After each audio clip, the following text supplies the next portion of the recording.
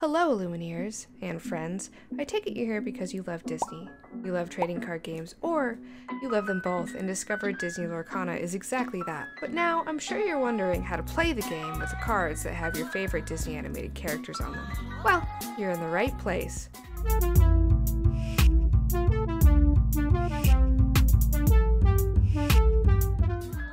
Welcome to the Illumineers Academy. We cover all aspects of Disney Lorcana, as well as a whole bunch of other Disney related stuff. This video is going to specifically break down the card types and parts, then how the cards and abilities work, and finally, how to just play the game.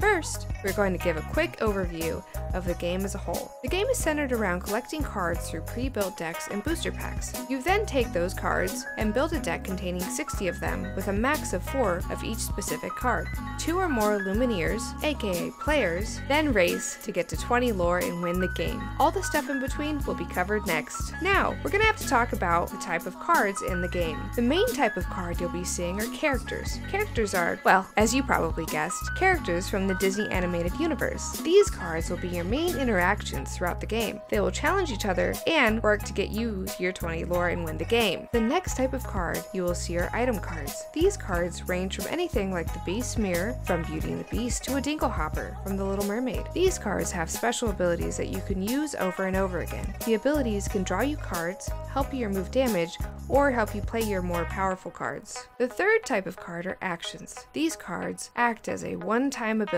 Once you play them from your hand, they go straight into your discard pile. These cards can be really anything like Dragonfire, where Maleficent in her dragon form blows fire at Prince Philip, or Fire the Cannons, which Hook does in Peter Pan. These cards do almost anything and push your game further. Their only drawback is that they can only be used once. The final type of card are songs. These cards are actually a subsect of action cards. They are a one-time use ability that goes from your hand into your discard pile. The main difference is that you can use your characters to sing a song and then you get to play the card for free. How, why, and the cost of playing cards will be covered shortly. These cards are songs from movies like Be Our Guest, Friends from the Other Side, and Let It Go. So, now that we know all the different type of cards, let's break down what all the different numbers, symbols, and words on the card mean. Here's my favorite card right now, Simba. Returned King. He's a character, which we know for a couple of reasons. First, we look at his card classification. He is a storyborn, hero, king. All of those relate to the types of characters. The last reason, and usually the best way to tell, is that he has a listed strength, willpower, and lore value. These are all things that are, at least so far, reserved only for character cards. His strength is the number in the sun, his willpower is the number of the shield, and his lore value is the number of little diamonds right here. So, his strength is 4, his willpower is 6, and his lore value is 2. Let's look at the other parts of the card that will show up on all cards. Each card will have a name and a classification, like we already covered. They will also have this circle hexagon combo, or just a hexagon at the top. This denotes the cost of the card as well as if it's able to be added to your inkwell. Since Simba has a circle around his hexagon, he is able to be added to the inkwell. If we look at one jump ahead, we see that there is no circle, only the hexagon, so it cannot be added to your inkwell. We will be covering inkwells in the gameplay section of this video. All cards have an abilities and effects section located here. This will explain the different things the cards can do. Each card also has a description of the ability in case you forget what the keyword means. If we look at Simba again, we see that he has a challenger plus 4 and pounce. Later, we'll go over all the abilities that have been shown so far. The last thing that all cards will have is their ink symbol, located here. We see that Simba is a steel ink, and we will be releasing a video that covers the different inks and what they mean in the future.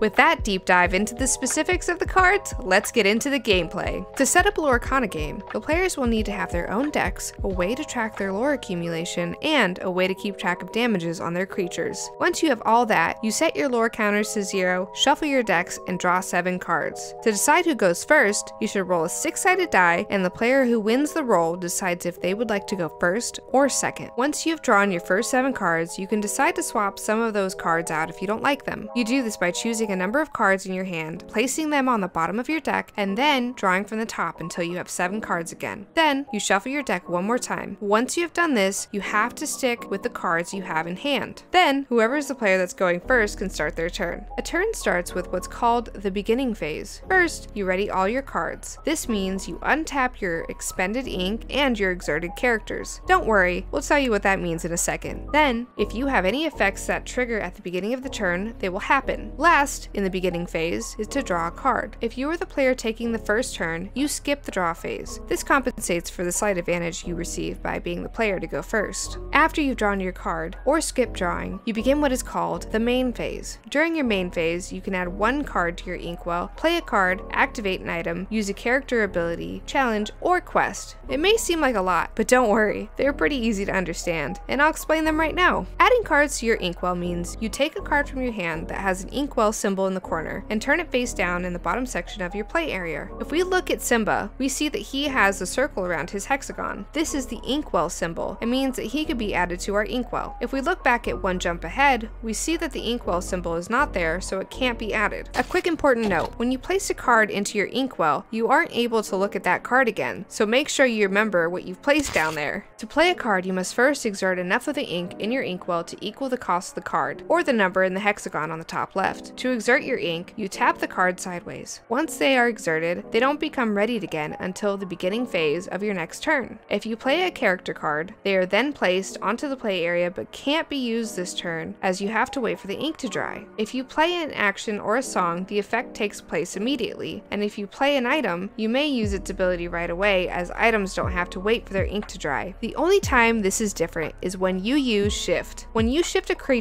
you take a cheaper version of a creature and replace it with a more advanced version. Our favorite example of this right now is Stitch. Stitch New Dog is just a one cost character. He has only 2 strength, 2 willpower, and 1 lore. Not bad stats for a one cost character, but what if it's later in the game and we need more power? Well luckily, we have Stitch Rockstar, who has 3 strength, 5 willpower, and 3 lore value. He also has two abilities, Shift, which we're talking about now, and Adoring Fans. The Adoring Fans ability is pretty great as you get a lot of cheap card draw, but we'll talk about strategy in another video. Here we want to focus on the Shift ability. This ability allows us to not have to pay the full 6 to play Stitch Rockstar. As long as we have another Stitch in play, we can replace the one in play with the one in our hand for its shift cost, which here is 2 ink cheaper. An important note, shifted characters retain the character on the battlefield's ink dryness and damage counters. So, if the character shifted doesn't have ink dry, then neither does the new. Furthermore, if the character on the battlefield had 2 damage on it, so does the new one. Using an item is the same as activating an item, which is another thing that you can do during this phase. If we look at Lantern, we can see that to use its ability, we have to exert it, and then we can pay one less ink to play our next character. If we look at Coconut Basket, we see that we don't have to do anything with the card for its ability to be activated. It waits for us to play a character to trigger its ability. Finally, if we look at White Rabbit's Pocket Watch, we see that we have to exert it and pay 1 for its ability to happen. In your main phase, you can also use character abilities. If we look at Elsa, we see that her ability requires us to exert her, and then we're able to exert an opponent's character. We can only use this the turn after Elsa has been played because characters have to wait for their ink to dry. You can also use characters to quest or to challenge. Questing is the easiest and maybe the most important. To quest with a character, you first have to look at their lore value. If we go back and look at Simba again, we see he has a lore value of 2. As long as it isn't the same turn as we played him, we can quest with him, exerting him and adding his lore value to our overall lore count. To remind you, the first player to get an overall lore count of 20 wins the game. The last thing we can do in our main phase is challenge an opponent's character. To do this, our opponent must have a character that is exerted, and we must have a character that isn't affected by ink drying. If we meet both of those criteria, we can use our character to challenge our opponent's exerted characters. When a challenge happens, we first exert our own character. Then, we apply damage equal to the strength of the creatures to each other. Let's look at Simba again, and say we used him to challenge our opponent, Scar Fiery Usurper. Our Simba would deal 4 damage to our opponent's Scar, and our opponent's Scar would deal 5 damage to our Simba. This damage happens simultaneously. Also, our Simba has an extra ability in Challenge plus 4. This means that we add 4 to the amount of damage he deals, so we deal a total of 8 damage to our opponent's Scar. This wouldn't be added to his strength if he were the one being challenged. A damage counter can be anything you want it to be, even if it's just a little scrap of paper. Then, we look to see if the amount of damage on the card is greater than the character's willpower. We see that Simba has 5 damage, which is less than his willpower, so he stays in play. Scar, however, has 8 damage, which is greater than his willpower, so he's banished and placed into your discard pile. Characters who aren't banished keep all the counters that they receive, so now our Simba only has to take one more damage to be banished. If you're able to do the math without always adding counters, that's totally fine too, and definitely helps the speed of the game. But for those who can't, don't feel bad. I'm sure you'll get there soon. Once you're done doing all or none of the things in your main phase, you pass your turn and your opponent starts it all again in their beginning phase, and you are well on your way into the game of Lorcana. A final few points to add about playing overall. As mentioned towards the beginning, the deck must contain a minimum of 60 cards. You can use more if you'd like. They can only have 4 of a certain card, so we can only have 4 Simba Return King cards, but would be able to play 4 of another type of Simba card, like Simba Exiled Lion, if that was a thing. You can only use 2 inks per deck. You can of course only use one, and finally, you can play with more than 2 players if you'd like. So, that about does it. That's the basics on how cards work and what all the symbols mean, how to set up the game, and how to play. If you have any questions or just want to say hi, leave it in the comments below. Also, if you have any suggestions on things that you'd like to see from us, put that down there too. Finally, don't forget to subscribe and have a magical rest of your day.